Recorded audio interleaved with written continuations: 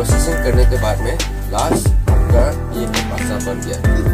तो रेडी ईट है ये इसमें आप आ, अभी कुछ नहीं करना है बस आप इसको मज़ा ले सकते हैं।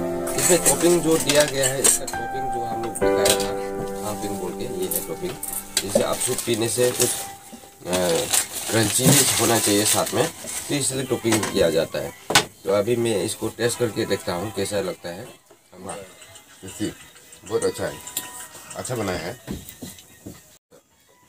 ये आपका जो जितना भी प्रोसेसिंग दिख रहा था पहले से तो उसका फाइनल रिज़ल्ट आप गया, आ गया है। इधर में ये है पासा ready to eat ready to serve